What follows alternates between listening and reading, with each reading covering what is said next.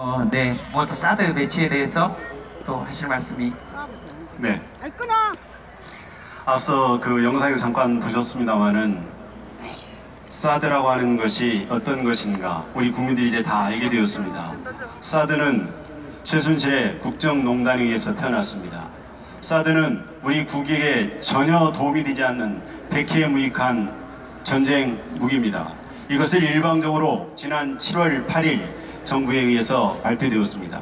7월 13일 성주 포대에 사드를 배치하겠다고 발표한 이후에 성주 군민들이 그리고 그 이후에 김천 시민들이 오늘까지 160일 이상 아스팔트 위에서 사드 말고 평화를 외치고 있습니다.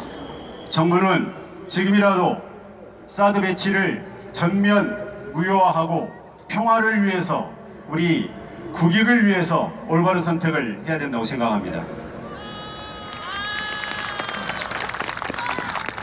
그 어, 사드 배치 사드 배치에 관해서 어, 우리가 사드 말고도 우리나라 대한민국을 잘 방어할 수 있고 또 평화체제를 정착시킴으로써 사드 이외에 그러니까 지역 주민에게 피해를 주지 않는 대한민국 국민에게 피해를 주지 않는 범위 내에서 어떤 일을 해야 될지에 대해서 많은 이야기들이 있습니다. 그죠? 네, 어떻게 생각하시는지. 예, 먼저 그 예, 국정농단에 대해 사드에 잠깐 더 말씀을 드리고 싶습니다. 최순실이가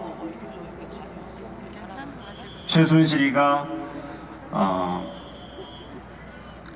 록히드 마틴 사장을 작년에 만났습니다. 회장을 작년에 만났습니다. 그리고 로비스트 린다 김이 최순실과 아주 오랜 직이라고 그러죠. 그리고 청와대를 드나들었습니다. 우리들은 합리적인 의심을 합니다. 이 사드는 최순실의 외교안보 농단에 의한 최순실 사드다. 왜? 지난 7월 8일, 아 7월 5일 국방부 장관이 국회에 와서 사드 배치는 전혀 고려하지 않고 있다고 발표를 했습니다.